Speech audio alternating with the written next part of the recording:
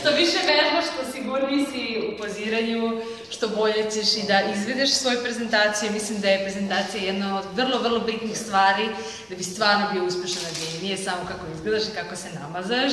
Naravno. I, ovaj, kako... I osmeh.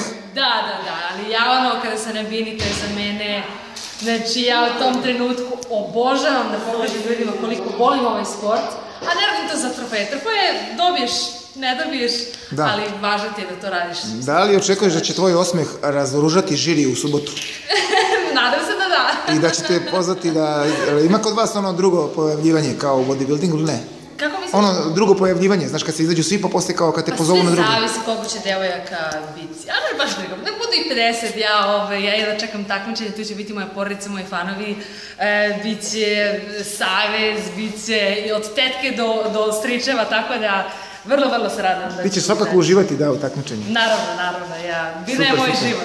E, ajde da samo kažemo kratko, posle ovog takmičenja da te očekuje još nešto, pošto je tek u oktobru je prvenstvo, koliko ja znam, E, šta da. ima na inostranoj sceni u Švicarskoj. Čekat će me Balkansko prvenstvo, to je 9. do 11.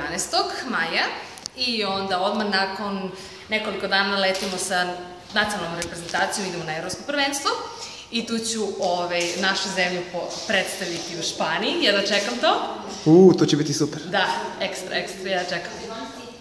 Dobro, znači šta očekuješ tamo? Biće jaka konkurencija, verovatno. Pa biti, u konkurenciji imaš uvek, ali stvar je to kako si ti, ovaj, e, kakav mind setup imaš. Ja sam, ja sam, ja sam uvek ću biti pozitivna e, i odraditi znači, što najbolje mogu u prezentaciju.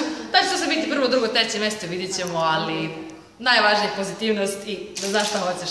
Dobro, hvala ti puno, pa puno se uspeha u subotu. Hvala.